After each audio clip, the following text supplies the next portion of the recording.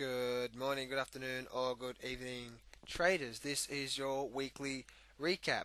We're going to have a look at what happened on the Dow Jones and also the Australian stock market, which is the XAO.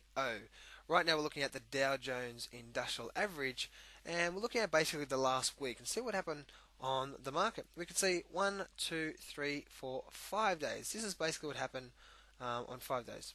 Big shoot up Monday. Tuesday really didn't do much. Wednesday had a nice down day, followed by an up day on Thursday and Friday. Spent most of the time to the upside, but soon closed lower on the Dow Jones Industrial Average. So right now we can see we have a nice downtrend caused um, from the Dow Jones. And what we can see here is that we get a bit of a sideways pattern through here. And it's actually this pattern here that's forming on the chart. It's actually selling it's actually saying that sellers are in control but buyers are starting to pick up. Okay, if you want to know the full details, come to our trading room and I'll explain to you in step-by-step format how it works. But right now, it's showing you that sellers are in control still, but it's showing me that the buyers are, are trying to take this, um, take this up a little bit. So um, this is giving me a sign that we might have um, a up week looking at the market. If we look at just a weekly chart, this is a weekly chart. You can see this is what actually happened last week. Now, last week we can see that the market, this is a weekly chart, and we're looking at the weekly bar here. The low and the high, the open and the close are based on weekly results. You can see the market actually opened, went down a little bit, screamed to the upside, came down, actually closed lower there. So I reckon we could see, if I could just turn this over to a candlestick chart, you can see we have a little body in a big long candlestick.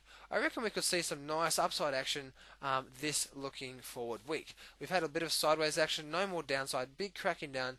So I reckon we could get a bit of upside action looking from the Dow. Now once again we're looking at the daily chart. And once again we can see that the this is a candlestick chart once again.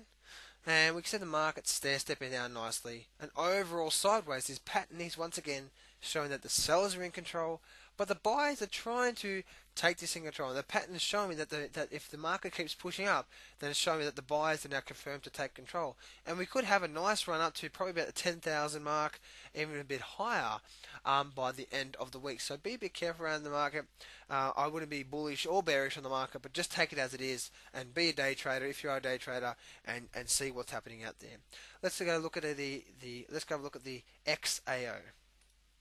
Okay, this is the XAO. This is I'm recording this on a Monday, so this is Monday.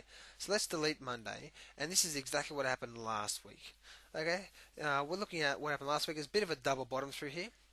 Okay, look at a bit of a double bottom. We can see once and now twice. Bit of a double bottom. So that's a nice reversal bottom there. And now this is Monday as I'm recording this. As for for last week's uh, video, last week uh, recap, what's happening here. That double bottom and this update is showing there's a lot of significant support through there. So because of that happening, and we can see here, if we look at it, actually looks like a double bottom. If that does hold, which it is holding, I reckon we could see probably 4,300 in the next couple of days looking at the XAO. The reason why is because that double bottom is nicely formed through there, and we could see we could see a, a pop to the upside. Now, if we do see a bias take control, which the pattern on the Dow Jones does look like that's going to happen.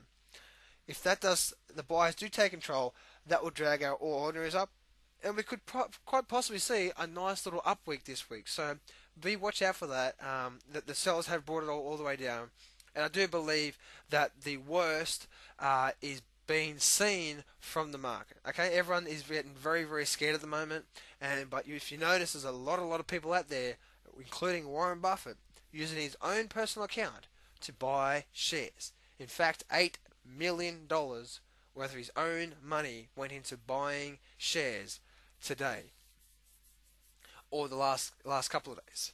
What's that saying to you? If the big fellas like him are doing it, why be scared? Because they know this is just market and they know it will it will come back up and it will do its thing again. So don't be worried about this. This is just a correction or a bit of a bull market, a bear market right now, and we could start we could start to see the market stair stepping back up into a nice bull market. If we have a look at the uh, weekly chart, this is uh, we're looking at this here, and if I just remove these dots here, we can see this is actually uh, the start of the new week, but this is what happened last week.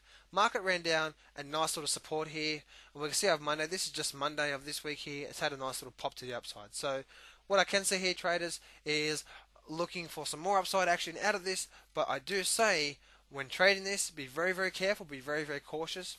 And that's exactly what we do in the trading room every day. We're cautious and we make sure I stack the odds on our side on every single given trade. So well done, well done traders for stepping up and doing what it takes to be successful in this market. If you want to learn more about this market, come and check us out in the trading room and I'll be gladly to help you out. So overall we're looking at that. Let's have a quick look at the S&P. This is the S&P market as well. S&P market once again, like the Dow Jones, looking at a weekly chart here. The S&P had a nice run down and just went sideways overall. Okay, a little a little day through here. And if we look at the daily chart, we can see the sort of similar pattern that happened on the Dow Jones. Now this is the S&P 500 index, and we can see uh, on this pattern forming right now. Um, it's showing me that the sellers are in control, but the buyers are trying to take control through this pattern just on the chart. Once again, if you want to learn how, the, how, I, how I analyze this market and how I form my opinion, come and check us out in the trading room, and uh, I'll show you exactly in detail what I'm looking at here and why I'm looking at the buyers might be taking control. If they do, we're probably going to have a nice little up week through here. So that's what we can see for what happened last week, and looking forward, this is what we also can see um, with the markets. If you do have any questions or anything at all, please let me know, and I'll be gladly to help you out as much as I can. Please take care, please look after yourself and also your financial future. Please be careful in this market because it still is rough and tumble, and we don't know if this is the end, end of the bear market. I'm not calling this the bottom. I'm not calling this anything. I do believe the bottom in the next couple of months is going to come, and we're going to start seeing a bit of a bull market going into sort of mid next year. I believe that. Uh, but right now, the market is still bearish, and we are in a bear market, and we are significantly in a downtrend. But there are patterns and significant support levels showing that it wants to push to the upside, at least for this week alone. So check that out and see what I'm, see what I'm talking about and also come to the trading room and check us out. We're having a huge success rate. And I just want to give a big shout out to Sarah. Sarah, well done. You're in the trading room. She's taken her first two live trades and they've both been successful. One was a 30% overnight. Well done, Walnut. It was out in in the afternoon, out the out the next morning with 33% on her investment, and um, and also a 25% return on investment overnight. So Sarah, well done for, stick, uh, for, for sticking with us in, in, the trading room. You did the right thing. You waited for some good trades, and now you've been successful. And that's what we like to see: successful in an overall tumble market. Come us in the trading room, and we can also help you out, and also help you be successful in this market as well. Please take care, and I'll, I'll talk to you next week with the next week really daily recap.